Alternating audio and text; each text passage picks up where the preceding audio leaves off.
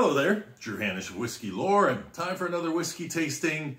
And I am doing another value whiskey. Somehow I got in this value whiskey thing. I went and stopped by the store and picked up a bunch of minis of stuff that I had never tasted before, or if I tasted it, it was before I really knew what I was tasting. And so I got myself a bottle of Canadian Club 1858. There's not a lot of people who have reviewed this whiskey as far as I can see, and I'm guessing that is because of its price point. I paid a dollar for this. So you can buy a bottle of it, a full fifth as we call it in the United States, for probably about $14. So it's not an expensive whiskey. You can find it everywhere. It is a Canadian blended whiskey. And as I like to do, I'm going to give a little history on some things about this name, Canadian Club. Now, if you jump on Wikipedia, you're going to see that there is a write-up that luckily somebody now finally put citation needed by a couple of the items there, which are fun lore, but I'm not sure whether these things are actually true or not. And please keep this in mind. As Abraham Lincoln once said, you can't believe everything you read on the internet. So I like to say you can't believe everything you read on Wikipedia. And so luckily somebody has put a little note by these couple of uh, items. But basically the idea was that in 1889, this club whiskey that was made by Hiram Walker had to change its name to Canada, big words across the top, Canada, so that people knew it came from Canada because people in Detroit were like, look, you know, um, we don't like the fact that this Canadian whiskey is coming across the border. You moved away from our country. He was from Massachusetts originally. He was in Detroit for a while, Hiram Walker. And so this was like a revenge thing. And it ends up that Canadian Club becomes the name and it becomes wildly popular afterwards. And the word club, club whiskey, the idea behind that is that club whiskey would be something that would be elevated for a gentleman's club, or maybe the club actually requested some special whiskey from a distillery, and so it got associated with that particular club.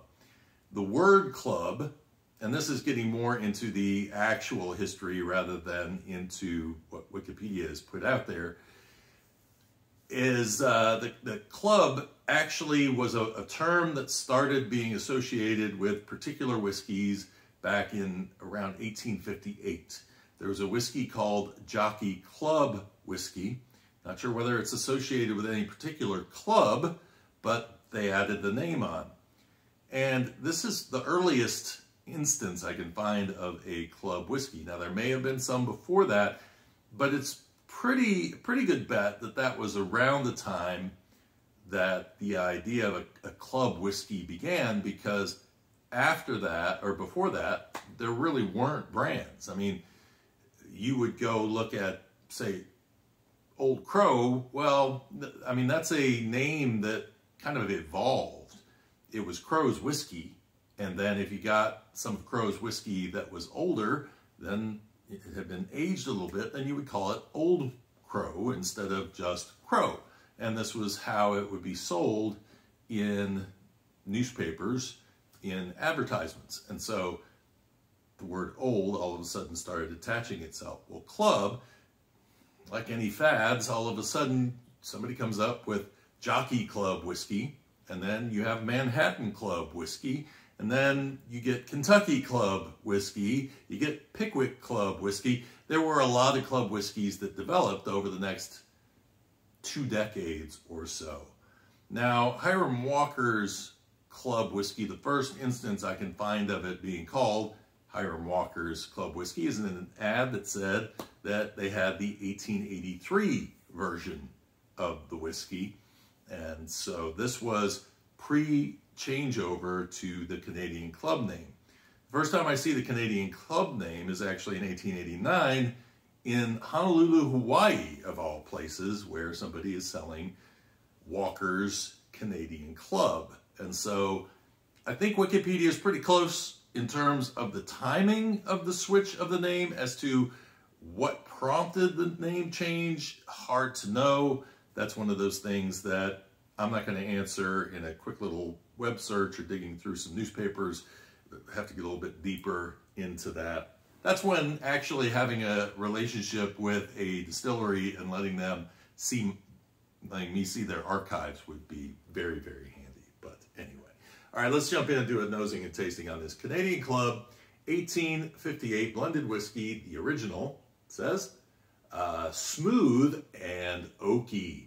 Of course, we don't like the word smooth around here, but we'll live with it.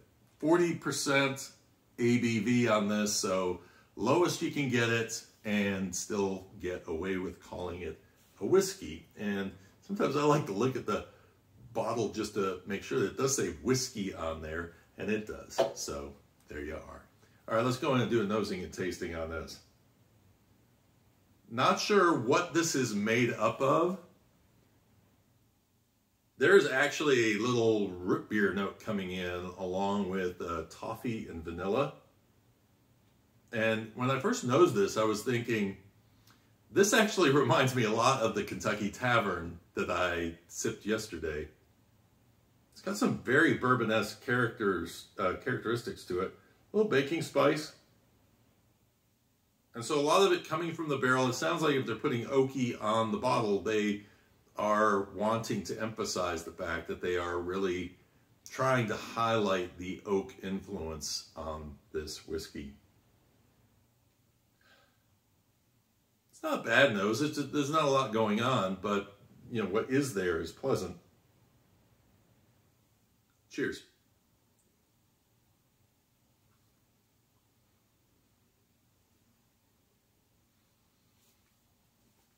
So I have to tell you, I wasn't expecting a lot out of this whiskey for its price point, and it's not going to blow you away. But it's actually a very competent whiskey. I mean, it's got nice flavor on the palate. It leaves you with some dry rye spice, which is interesting. But prior to that, it's got the sweetness. If you're kind of not a fan of that little maple note, I'm not really getting that kind of an overly syrupy kind of a, a note on this. Um, just kind of a, a toasted toffee note coming through on that whiskey. And then, interestingly enough, on the end, there's a hazelnut note that comes really fairly heavy on the palate. So the, the flavor is lingering and it's really more of those woody, nutty notes that are hanging through on this particular whiskey. I'm going to take a second sip here. Hmm. Caramel stands out. Like I say, that toasted note is actually kind of nice. This is just a nice sit around and sip on whiskey. I've read reviews and tried to find people writing about it, and I saw them saying things like, oh, I wouldn't use this for anything but a mixer. But honestly, it's a whiskey that I think I wouldn't put ice in it.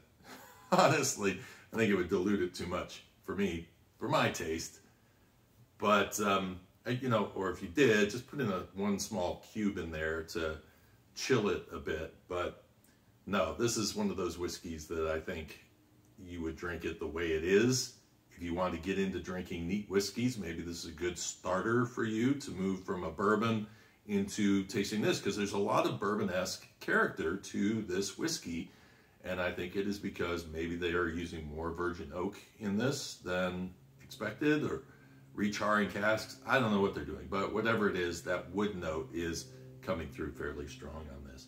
Hope you enjoyed this little history lesson. And uh, have you had Canadian Club 1858? What do you think of it? Is there another Canadian whiskey that I should be trying? I know I have not really jumped into the Crown Royal world here too much.